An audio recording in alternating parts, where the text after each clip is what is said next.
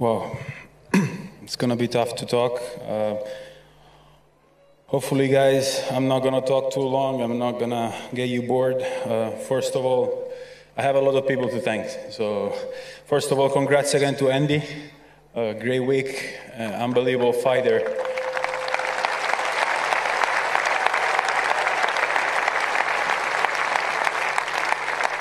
Fighting spirit and everything he's showing on the court is like I'm, I'm still learning. And i remember when i was a kid and I, I was watching you in tv and now it doesn't feel real that i'm here against you. So thanks for, for you did what you're doing for the sport for inspiring all the kids.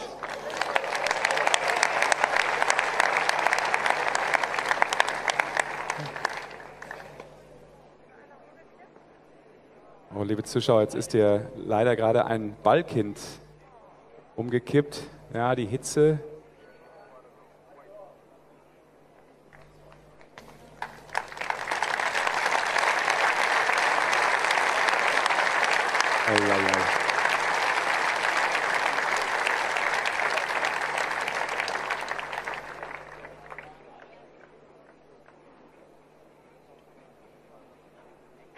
Well, unfortunately, we had that in the match as well. I mean, it's up to you, Matteo, if you want to continue. Oh, I, it's really tough now. Whatever I'm gonna say, it, does, it doesn't matter. Um, hopefully,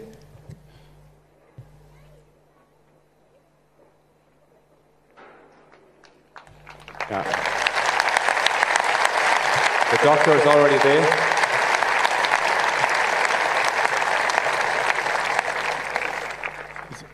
okay. Grazie.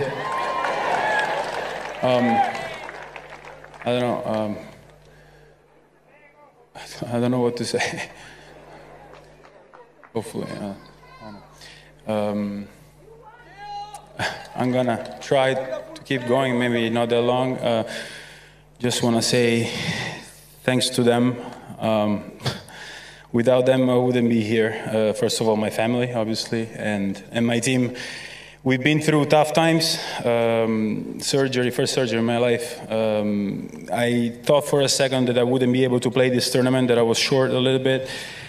And now I'm here holding the trophy. It doesn't seem real. So thank you guys. Grazie.